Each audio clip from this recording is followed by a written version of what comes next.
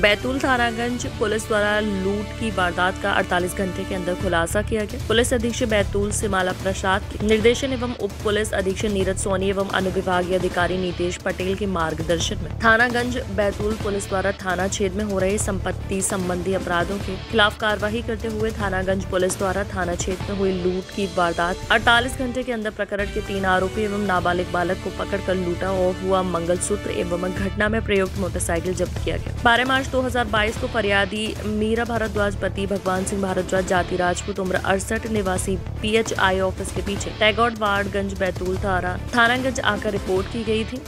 दस मार्च 2022 को दोपहर करीब एक बज के चालीस मिनट पर घर जाते हुए सनराइज ब्यूटी पार्लर के सामने आम रोड पर चार मोटरसाइकिल सवार लड़कों द्वारा फरियादी के गले से मंगलसूत्र झपट ले गए और मंगलसूत्र में एक पैंडल एवं सोलह नग सोने की मूर्ति लगी हुई अपराध क्रमांक संख्या छियालीस दो धारा तीन सौ बानवे। कायम कर विवेचना में लिया गया। विवेचना के दौरान तकनीकी संसाधनों का प्रयोग कर मुखबिर की सूचना के आधार पर तीन आरोपी गढ़ राजू उर्फ़ चिटुक गायकवाड़, राजकुमार उर्फ़ सोनू कुमार, अनिल उर्फ़ कल्लू सेंद्रे एवं एक नाबालिग बालक को गिरफ़्तार किया गया एवं लूटा हुआ मंगलसूत्र एवं घटना में प्रयुक्त मोटरसाइकिल जब्त की गई। आरोपी के नाम है राजू उर्फ़ चिटुक, पिता गुलाल गायकवाड़, उम्र पैंतीस वर्ष, निवासी हिवरखेट थाना मुल्ताई हाल, मुकाम राजीव नगर थाना, अयोध्या नगर, भोपाल। दूसरा, राजकुमार उर्फ़ सोनू पिता राम रतन कुमार, उम्र तीस वर्ष, निवासी डान बास्को के पास सदर व तीसरा अनुल उर्फ़ कल्लू पिता रमेश सेंद्रे, उम्र सत्ताईस वर्ष। आर नाइन भारत के लिए, रामेश्वर लक्ष्य की रिपोर्ट, बैतूल से।